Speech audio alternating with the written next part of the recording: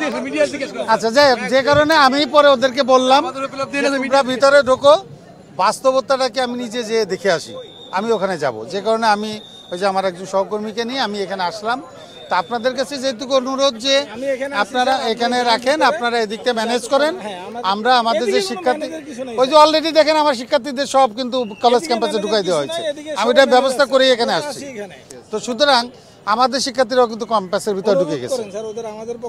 না এখন তো কেউ নাই আপনি দেখেন আমার সব শিক্ষার্থীর ভিতরে ঢুকে গেছে। তো সুতরাং এখানে আমাদের দিক থেকে আমরা চাই একটা সমঝোতা কারণ বাস্তবতা একটা কথা বিশ্বাস করতে হবে এবং আমাদের সবাইকে মানতেও হবে যে এখানে চাইলেই ঢাকা কলেজকে সরাই ফেলানো যাবে না না, না, না, এখানে চাইলেই নিউ মার্কেটকে সরাই ফেলানো যাবে না। হ্যাঁ. এখানে নিউ মার্কেটের লোকজন তারা ব্যবসা করবে আমরা যারা ঢাকা কলেজে শিক্ষকতা করি ছাত্র শিক্ষক যারা আছি সেখানে পড়ালেখার পরিবেশ থাকতে হবে। দুটোই আমাদের জন্য প্রয়োজন। তো সেক্ষেত্রে আমাদের সবাইকে একটা ভালো দৃষ্টান্ত স্থাপন করতে হবে। ভুল বুঝাবুঝি তো হতেই পারে ত্রুটি হতেই পারে। তো একটা ভালো দৃষ্টান্ত স্থাপন করতে হবে এবং ভবিষ্যতে যা কেন এই ঘটনাগুলো ঘটে সেই বিষয়গুলো আমাদের খুঁজে বের করতে হবে। যে বারবার এই বিষয়গুলো যাতে আর সামনে না আসে। কারণ নিউ মার্কেটও একটা ঐতিহ্যবাহী প্রতিষ্ঠান ঢাকা কলেজে একটা ঐতিহ্যবাহী শিক্ষা প্রতিষ্ঠান। তো এই দুটো শিক্ষা প্রতিষ্ঠানের মাঝে বা দুটো প্রতিষ্ঠানের মাঝে যদি সম্পর্কের অবনতি হয়, এই এলাকার পরিবেশ নষ্ট হয়ে যাবে এবং আমাদের মধ্যে অতিরিক্ত একটা টেনশন এই যে এত আমরা একসঙ্গে কত লোক ব্যস্ত, কিন্তু এই দুর্ঘটনাটা না ঘটলে তো এত লোক ব্যস্ত থাকতাম না। সুতরাং সাময়িক মীমাংসার পাশাপাশি আমাদের ভবিষ্যতে যেটা চিন্তা করতে হবে যে, এই সংকটগুলো কেন দীর্ঘস্থায়ী হয় বা বারবার হয়, সে কারণগুলো আমাদের খুঁজে বের করতে হবে, যাতে এটা চিরস্থায়ী সমস্যার সমাধান হয় আজকে স্যার আপনি আপনি কথা বলেন স্যার কথা বলে আপনি একটু যান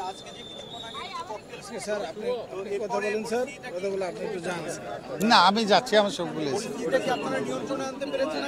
জি জি, আমাদের নিয়ন্ত্রণ তো। আপনি দেখেন, আমাদের কোনো স্টুডেন্ট ক্যাম্পাসে নেই। সব ছাত্র আমাদের আমাদের নিয়ন্ত্রণ। জি, সরেন।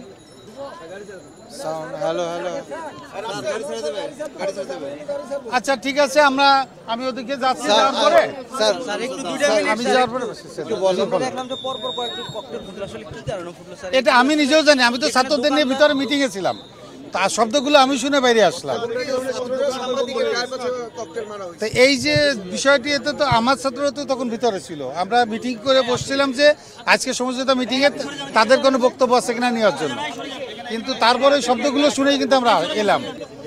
তো এখন শব্দগুলো কোন জায়গাতে, এটা কার, কীভাবে হলো, এটাই দেখার জন্য বাস্তবিক পক্ষে আমি এখানে যাচ্ছি আমরা তো মীমাংসা অবশ্যই, আমাদের মূল কাজই আমরা মীমাংসা চাই।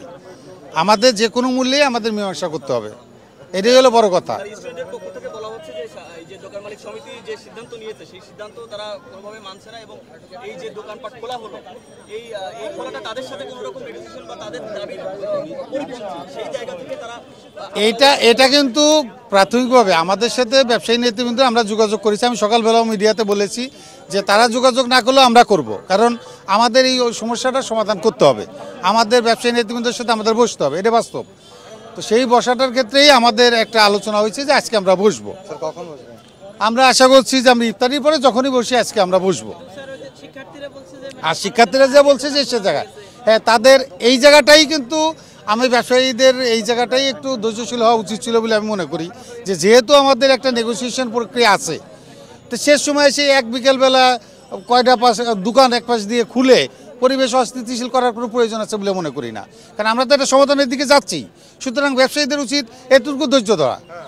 শেষ সময়ে এসে তারা এই হয়তো সব কটাই দোকান তো খোলেনি হয়তো আংশিক কোনো জায়গায় খুলেছে।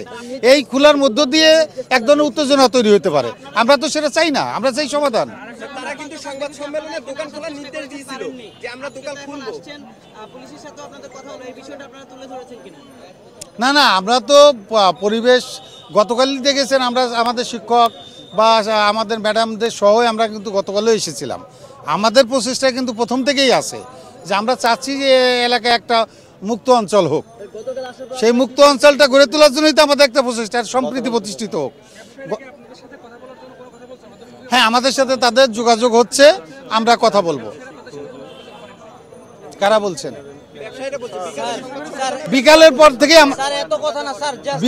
বিকালের পর থেকে আমাদের সাথে বিকাল থেকেই তাদের সাথে যোগাযোগ প্রতিষ্ঠিত হয়েছে। এটা কি আপনাদের সাথে কথা না বলে যেন দোকান না খুলে এটাই কি আহ্বান? একটু যদি আমাদের ওইভাবে একটু বলে দিতেন। মানে আমরা যেটা মনে করছি যেহেতু এটা পরীক্ষার মধ্য দিয়ে আছে আমরা একটা বড় সমাধানের দিকেই যাচ্ছি। তো সেই সমাধানটা তো আমরা যদি আজকে বসি আশা করি আমরা সমাধান হয়ে যাবে। তো তার আগ পর্যন্ত এই বিক্ষিপ্ত বিচ্ছিন্নভাবে দোকান না খুললে যদি সেখানে একটা উত্তেজনা হয় সেটা না খোলাটাই বেটার আমি মনে করি। ওকে স্যার আর কিছু আর প্রশ্ন দরকার নেই?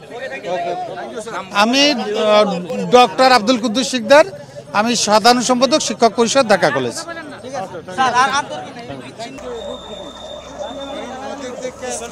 বেশি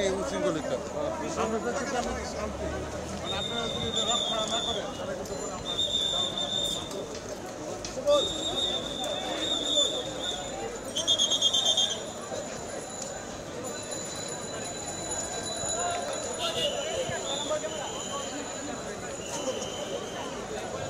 ওসমান কি হয়েছে তোর? ওসমান? ও